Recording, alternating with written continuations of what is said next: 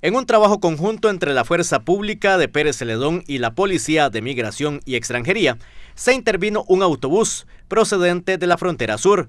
La detención se produjo en las cercanías de la Policía de Tránsito en Daniel Flores.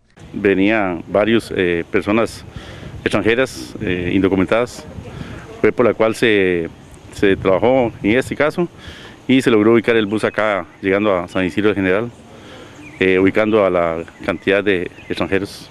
Los extranjeros fueron llevados a la delegación cantonal de Pérez Celedón para los trámites correspondientes a estos casos. 14 extranjeros de nacionalidad haitiana, inclusive un menor, ya están haciendo las correcciones como se hace con migración, que ya se encuentra trabajando acá, y el PANI, porque hay una, un menor de edad, y posiblemente sea migración el que eh, toma las decisiones probablemente para devolverlos a, a Paso Canoas.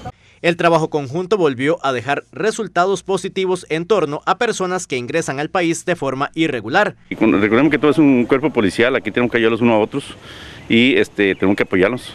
Eh, ya en, ocasiones ellos nos apoyan a otros en algunos operativos y en este caso nosotros estamos apoyando en el aspecto de eh, trabajo que tenemos que darle estas coordinaciones y colaboración de a realizar y a seguir. El 16 de marzo anterior se había intervenido otro bus, en ese caso fueron 31 migrantes que viajaban de forma irregular.